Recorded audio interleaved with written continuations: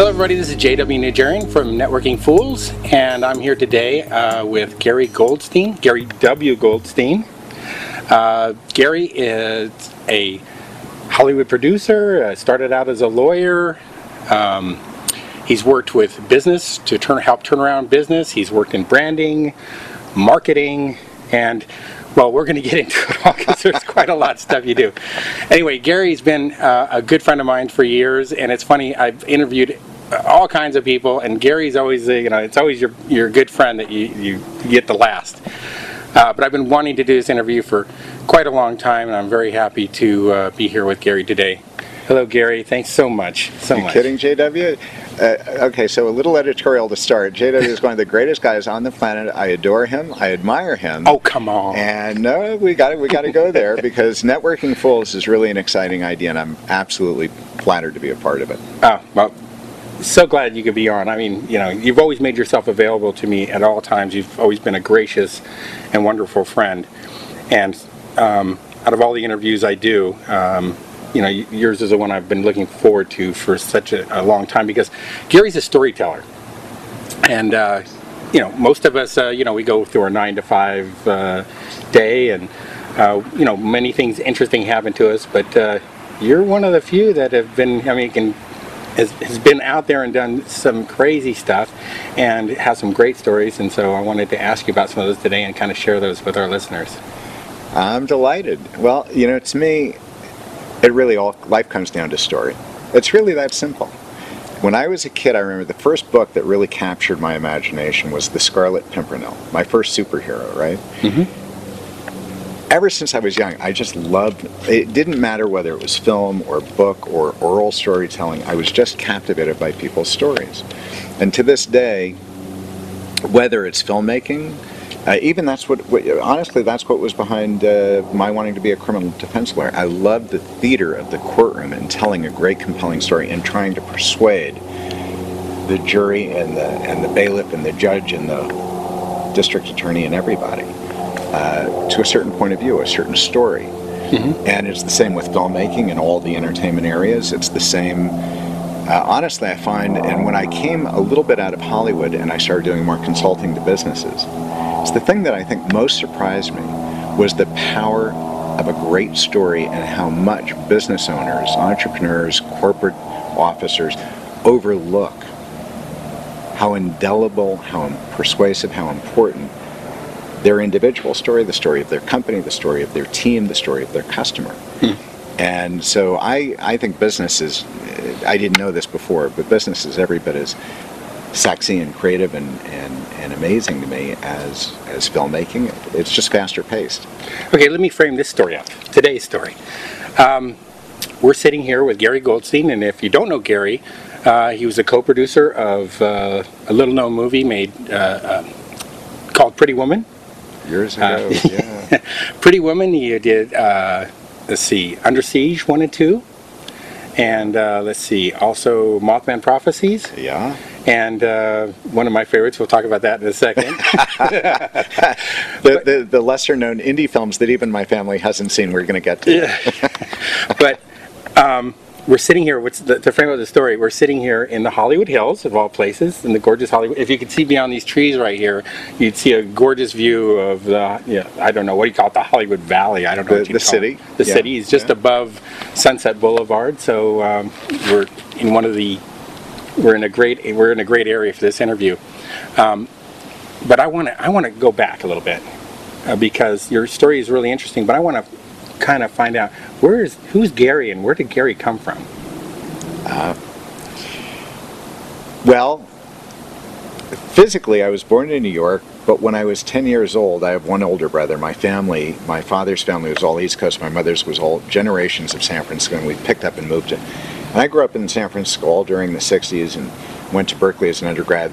I my, my timing was amazing. I mean, I was a freshman at Berkeley in 68, the year of People's Park and Eldridge Cleaver and the ending the war and all that. And of course, you just watched it and maybe inhaled. Uh, actually, here's what's interesting.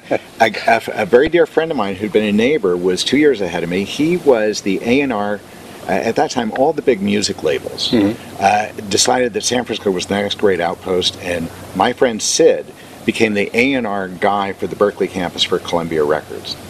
Big label at the time. Mm-hmm. When I and he wore a second hat, and the second hat was he was the producer and promoter of all the concerts and cabarets for the campus of UC Berkeley. So he took all the big artists, put them on stage, produ- produced them. So when I came over, he knew my love of music. He said, "You're going to do it with me. You're going to be, and when I leave, you'll be the A&R guy for Columbia, and you'll be the the, the sole head of uh, chairman of music or whatever they called it." Wow, what a good campus." friend.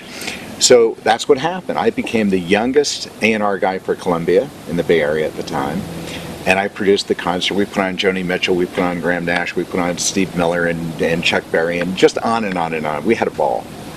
All during this political heyday of, you know, uprisings and tear gas and the whole, it was very colorful. Mm-hmm. Altamont, the whole deal. So I was a hippie. But when I came out of Berkeley, here was the problem at that time, socially, there were very few acceptable options. You didn't go to work for a major corporation. Right. It was a different day. You became a teacher, you became an academic, you became, you know, a crusader. And my heroes at the time were the the Tony Serras and the William Kunstlers who defended the Chicago Seven and the, you know, and I thought, wow, I could be a political defense lawyer, criminal defense lawyer. So that's what I wanted to do.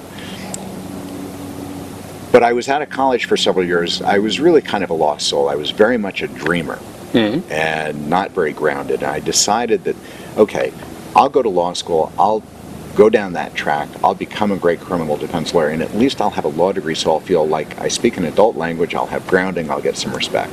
Right. So how, the music thing, which is huge onto itself, I didn't even know that about you.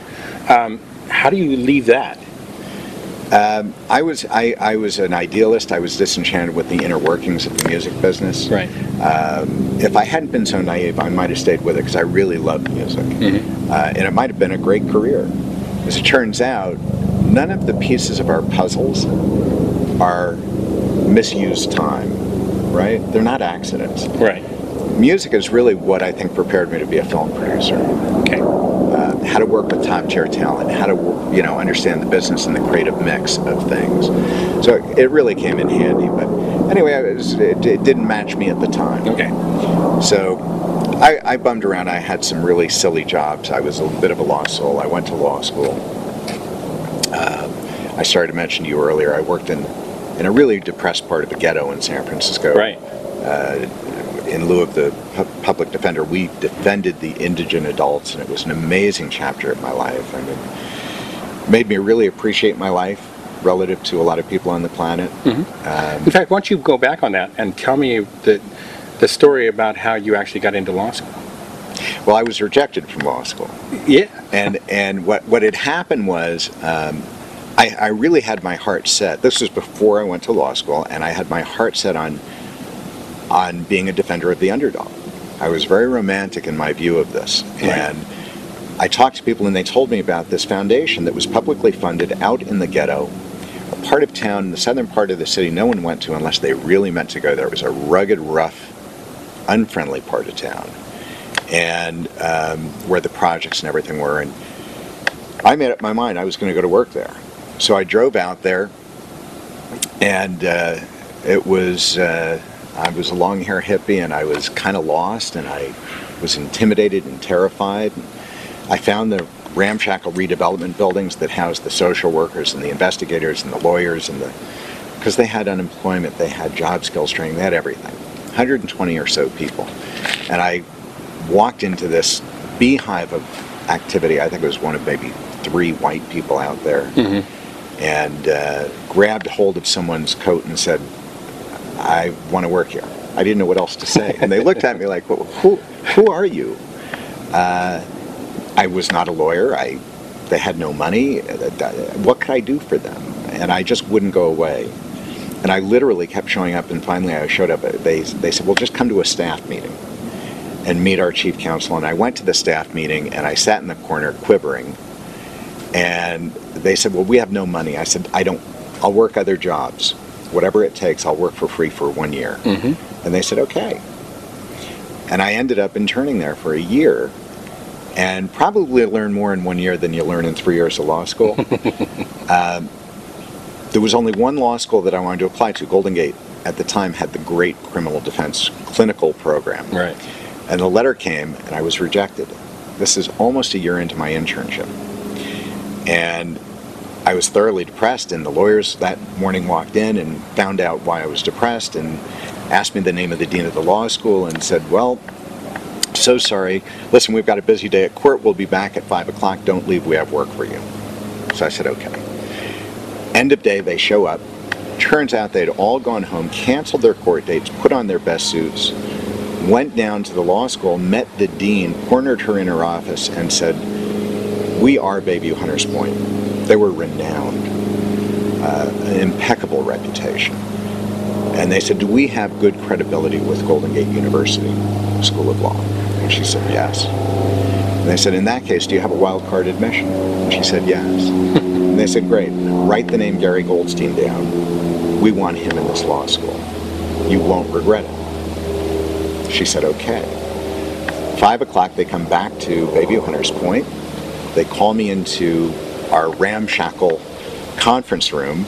They're standing three guys in beautiful suits on top of a funky wooden table, each holding a bottle of champagne, saying, Congratulations, counselor. And they explained what had just happened. And I literally broke out in tears. That, that we, we had come to such a level of, of respect for each other and friendship and you know it's it, I mean, I've seen it now a thousand times since. Mm-hmm. The, the importance of building relationship, exalting relationship over everything in life, and building your social equity, and just being a good person. Oh, I know, and I know you live that. So, if it weren't for those guys, I don't know where I would have, what direction I might have gone. But I certainly wouldn't have made it into law school, not at that time. Right.